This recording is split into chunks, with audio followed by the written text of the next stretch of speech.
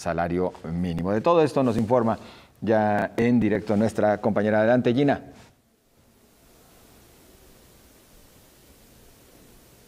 Buenas tardes, Pina, José Ángel y a todo el auditorio de Señal Informativa.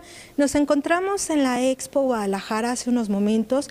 Juan Pablo Castañón, presidente del Consejo Coordinador Empresarial, dio una rueda de prensa donde avaló el incremento del salario mínimo a 88 pesos con 36 centavos, aplicable a partir del 1 de diciembre, según aprobó esta mañana la Comisión Nacional de Salarios Mínimos. El empresario aseguró que no se podía dar un brinco fuerte a pesar de la presión que ejercen Estados Unidos y Canadá en la renegociación del Tratado de Libre Comercio de América del Norte.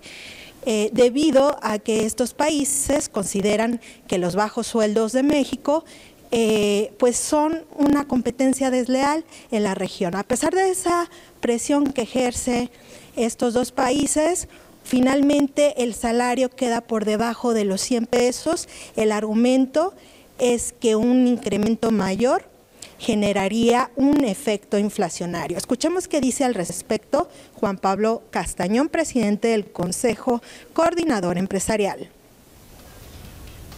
Poco a poco no podemos eh, dar un brinco muy fuerte porque tendría un impacto inflacionario. Entonces hemos determinado continuar en una política de ir dando pasos firmes, pero hacia adelante en la recuperación. Como digo, pasamos de, los salarios más bajos en México de 60 pesos a, un salario de 88 pesos el Juan Pablo Castañón calificó este aumento de 8 pesos con 32 centavos con respecto a la unidad vigente que hay que mencionar que es de 80 pesos con 4 centavos como una política salarial sustentada. Según mencionaba el empresario, un incremento mayor, bueno, eh, sería un beneficio que sería absorbido por los precios, no por los trabajadores. Escuchamos nuevamente a Juan Pablo Castañón.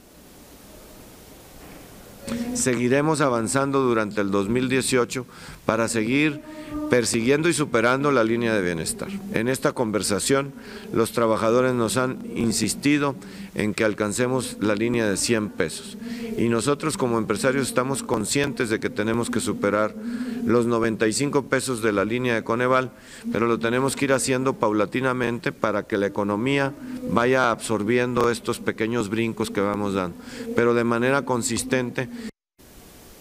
El el empresario destacó que este incremento de 8 pesos con 32 centavos es aplicable a partir del 1 de diciembre para que los trabajadores tengan el beneficio desde las prestaciones de fin de año. Eso fue algo de lo que destacó en esta rueda de prensa que ofreció en el inicio de una serie de foros en los que la iniciativa privada va a reunir propuestas para entregárselas a los candidatos a presidencia de la República, a gobernaturas y al Congreso de la Unión.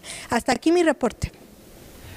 Gina, entonces, eh, de alguna manera el sector privado termina contento con este incremento al salario mínimo, al salario base en nuestro país, pero al menos con el compromiso, dicen, de, seguir buscando ajustes para alcanzar un mejor nivel.